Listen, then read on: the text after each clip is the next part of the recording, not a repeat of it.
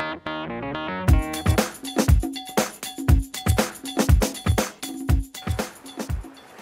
my name's Tessa Levens. I'm Senior Peatland Restoration Officer for the Yorkshire Peat Partnership Project and we're here in Wensleydale in the Yorkshire Dales to have a look at some of the peatland restoration works going on up here at the moment. And what we're going to do is film a day in the life of a restoration officer.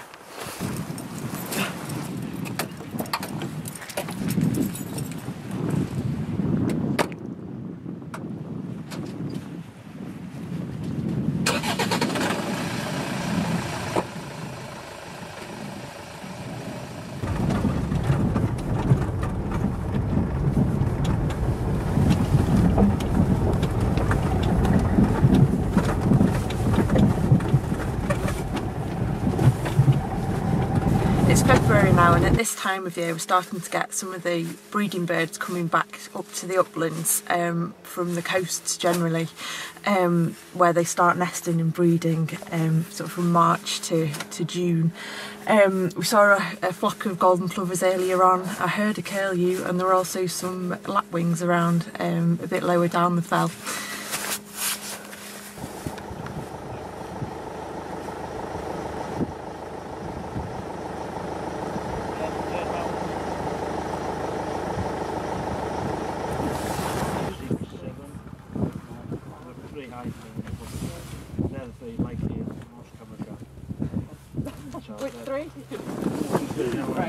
So this is everything that's been done in the central area of Stags Fell so far this year, since December. Um, we've got another contractor working on the western area and this eastern area of the site hasn't been worked on yet. Um, but between 3rd of December and now, which is getting towards the end of February, we've done all, all this work along here. So that's grip blocking, reprofiling hags. Um, they're going to be moving on to some bare peat work and more reprofiling later on. Diggers are currently down at this end. There's nine diggers working in this section, uh, blocking the grips and reprofiling the grips between the dams.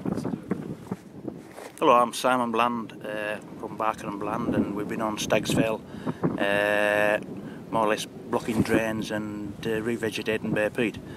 Uh, as you can see on here, uh, we're using peat dams and reprofiling. Uh, good reprofiling more or less eradicates your drain line. so it allows water to come right to the surface with vegetation.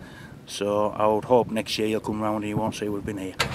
Most of the excavators we use on the peatland restoration sites here on the YPP sites uh, weigh between 7 and 8 tonnes which sounds pretty heavy for such a sensitive habitat but actually they're incredibly low ground pressure and exert less pressure on the surface of the peat than a human footfall.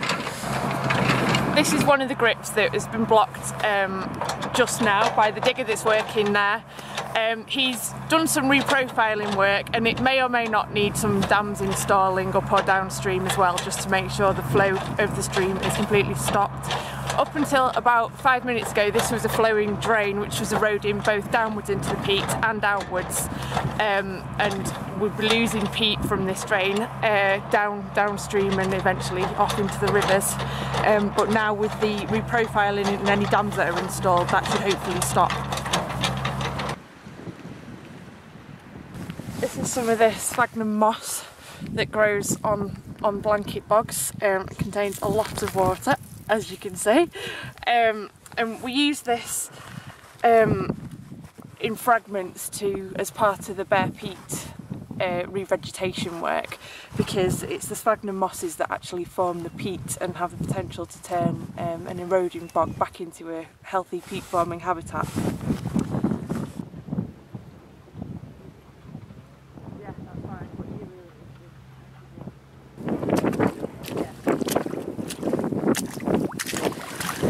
This is what was the hag side of a, a gully um, that's been reprofiled recently. So a few weeks ago, this will have been a vertical bare peat face with some overhanging vegetation.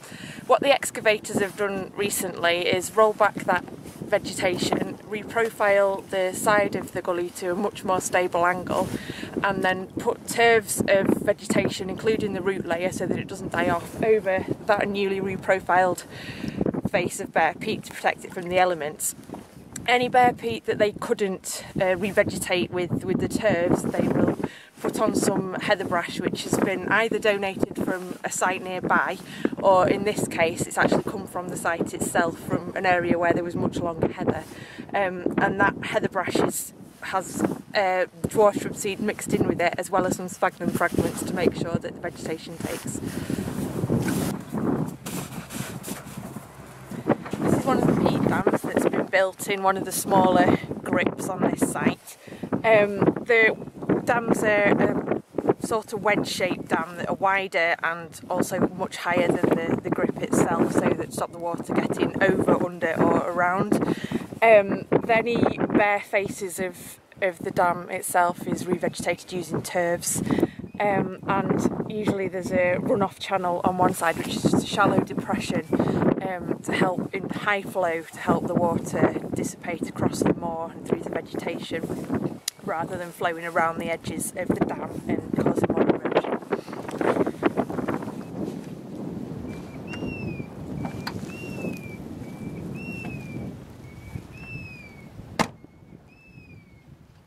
Um, just finished a site visit here in Wensleydale. Um, we had a look at some of the grip blocking that's been done uh, with peat dams in the smaller grips. Also the reprofiling that's been done between those dams. Had a look at the reprofiling done on the larger peat hags um, with turves and also some of the bare peat revegetation work that they've been doing with heather brash, um, dwarf shrub seed and sphagnum fragments. We're now going to go back to the office and download the data and, and have a look at it all compared with our own mapping work.